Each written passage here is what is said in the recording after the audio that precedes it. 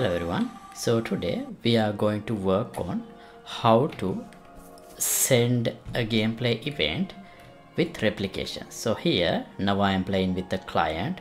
This small screen is our client and this guy is an NPC character and the big screen which is this character here is a main character uh, in the is the server. So here if I try to attack the server character.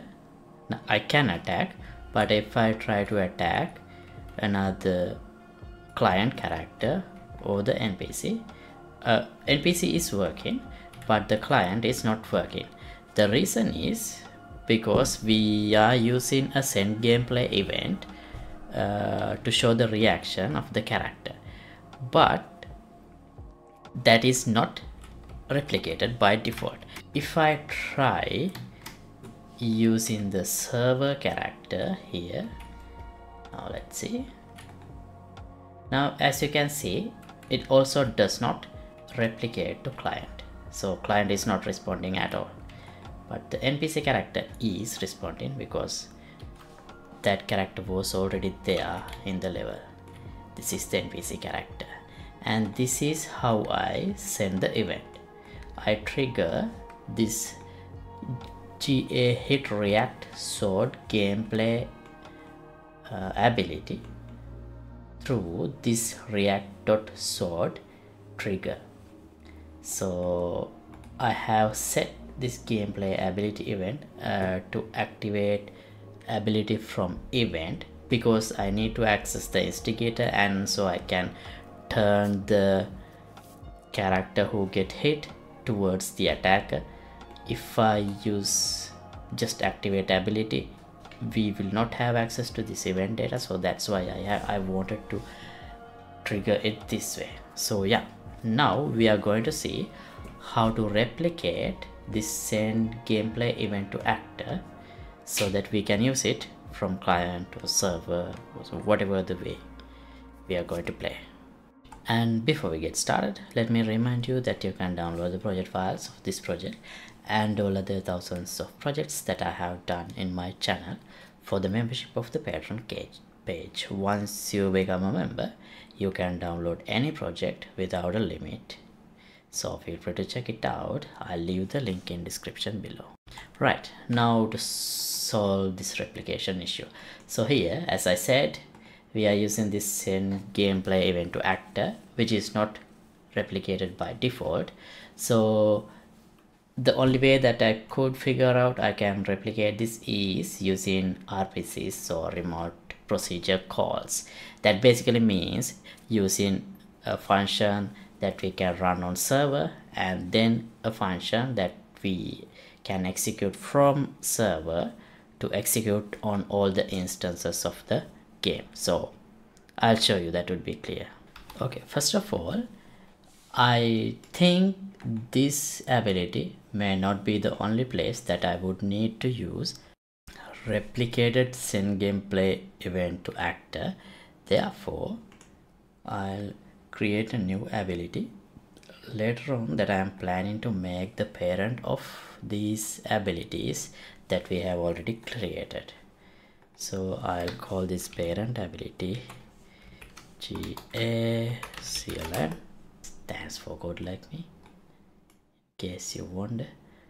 Now here I'm gonna create three functions three event custom event.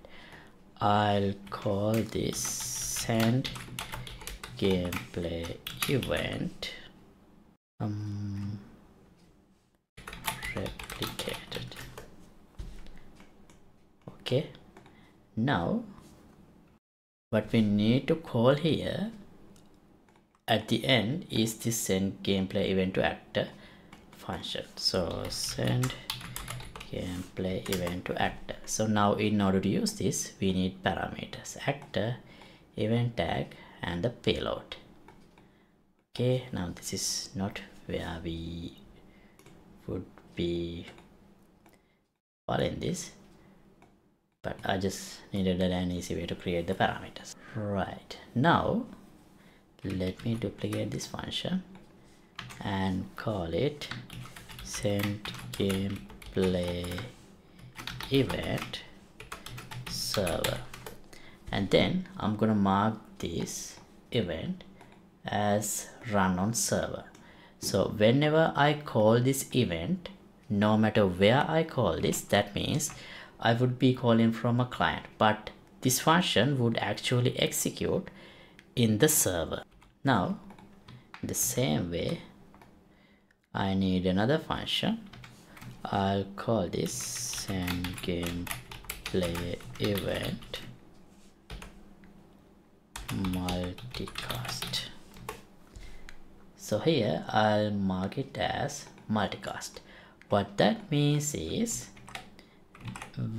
as you can see here in this description replicate this event from the server to everyone else. So that means everyone else uh, server execute this event locally too and call this event from server. So that's important. So if I call this event from the server it will be executed in the server and also in the clients as well. Right now this is the basic first function that I'm going to call when I want to send an gameplay event. Here there is a node called as authority. This will execute true if we are in server otherwise false. If it is true then what we should do is we should simply call send gameplay event multicast with these given parameters.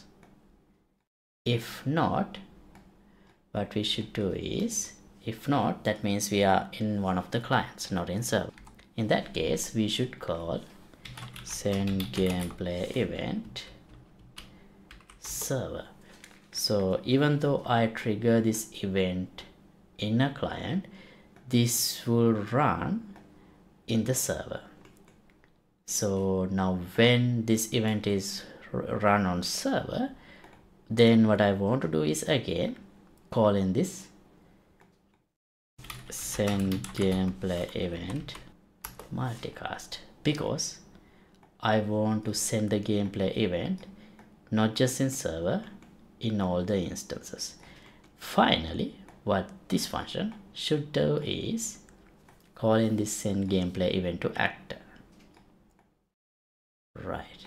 Now this should replicate across all the instances of the game including servers and clients. When if I call this send gameplay event replicated instead of send gameplay event to actor the default function that we have. So in order to access these functions what I can do is I implemented this in GA CLM I'm gonna make this GA light attack sword. Let's go to car settings and make GA CLM is the parent class. Now I will have access to send gameplay event replicate. Okay now we can ditch this. Target is actor and sorry actor is this actor not the target. Target itself that means this ability. And the tag is react dot sword and payload is this and we don't need this anymore. Okay. Now let's save. Now let's test. Let's start from client. And let's first attack the npc yeah it does react. It actually reacted before as well as i remember. And now i can attack another client. And why it's not attacking the server okay. Ah one more thing.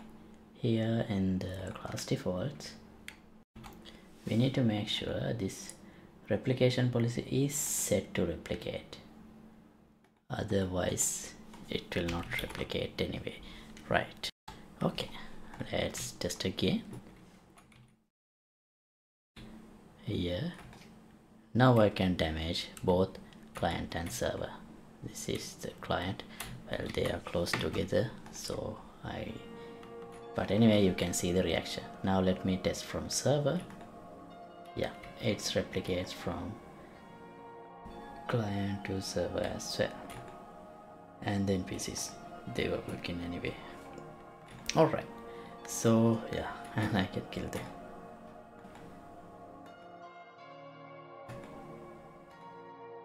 Okay nice all right so that's all i wanted to do in this episode. So thanks for watching. Updated project files will be available for the download in patreon page. Link would be in the description below. Don't forget to like and subscribe. And see you in another episode. Goodbye